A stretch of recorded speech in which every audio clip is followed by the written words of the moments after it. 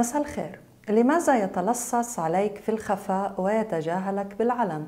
آه، كثير أشخاص رح يفكروا إنه عم نحكي عن المراقبة بعد الفراق إنه براقبك على ال story وال social media ولكن لا هيدا شيء حكينا عنه من زمان وقلنا إنه الشخص اللي بيراقبك بعد آه، الفراق أو إنه بعده بحبك ولكنه خايف من حبه لإلك لأن عنده philophobia أو غيرها من الظروف أو إنه آه، يتعمد لأن بده يشوفك إذا رحت عند غيره يعني فقط على سبيل الحشرية كحشرية موجودة عند أي إنسان أو إنه شخص بيكرهك وبيغار منك ويخاف من تفوقك عليه.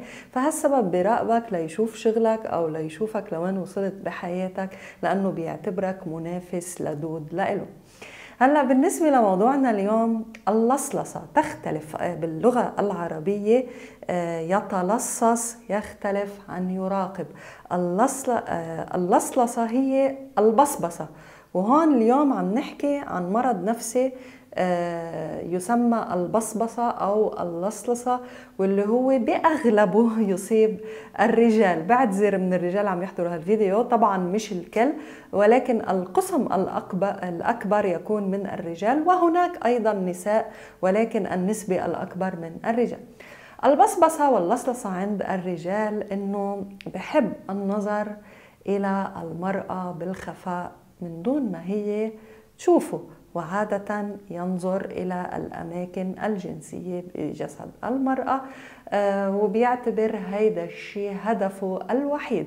حتى إذا المرأة ما بتعني له لا من قريب ولا من بعيد لهالسبب بيتجاهلها علنا لأن أصلا المرأة كمرأة مش عنيت له ولكن الذي يعنيه هو فعل اللصلصة. أو البصبصة لأنه يجد آه، أو هي العملية الجنسية لدى هالرجل تتلخص فقط بعملية التلصص أو البصبصة على النساء سواء بحبها أو ما بحبها أو سواء معجب فيها أو مش معجب فيها.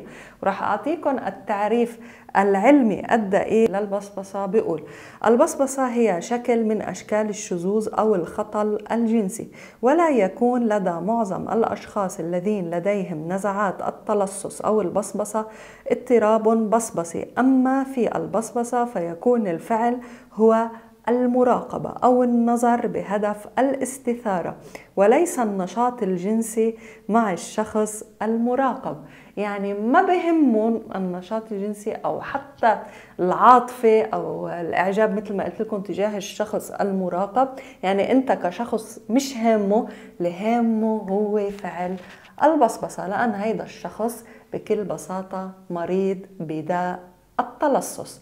والتلصص مش بس بيكون جنسي التلصص قد يكون أيضا على عدة أمور. هلأ حكينا عن القسم الجنسي واللي هو بيتعلق آه، قلنا بنسبة كبيرة منه من الرجال. ولكن على القسم العام اللي هو موجود عند الرجال والنساء وخاصة النساء آه، هو البصبصة أو التلصص فقط بداعي معرفة أخبار العالم وهيدا الداء كتير انتشر هلأ بعصر التواصل الاجتماعي. صارت الناس تحكي على بعضها على الفيسبوك وعلى الإنستغرام بالستوريز ويوجهوا إهانات لبعضهم وشتائم ملغومه وهيدا التلصص صار ظاهرة اجتماعية آه، افتراضية مش اجتماعية على أرض المجتمع.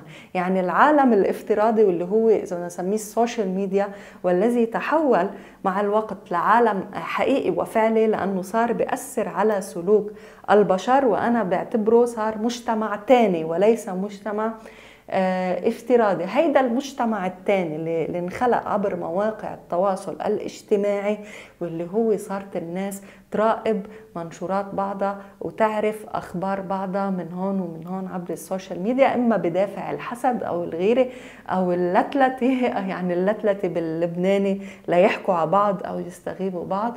وهيدا الشيء ينتشر عند الرجال والنساء إلى حد سواء. يعني سواء أنت بتعني له لهالشخص اللي عم براقبك ولكنه عم يتجاهلك أو ما بتعني له فهو هيدا الشيء أيضا مثل ما قلنا أصبح مرض اجتماعي. اذا القسم الأول هو مرض جنسي والقسم الثاني هو مرض اجتماعي. وعلى الحالتين بالقسم الأول والقسم الثاني الشخص يتلصص عليك لأنه هو مريض بداعي اللصلصة إما الجنسية أو الاجتماعية. ولهالسبب بيتجاهلك لأنك أنت أصلاً ما بتعني له لا من قريب ولا من بعيد ولكن هو إما مريض بمرض التلصص الجنسي أو بمرض التلصص الاجتماعي.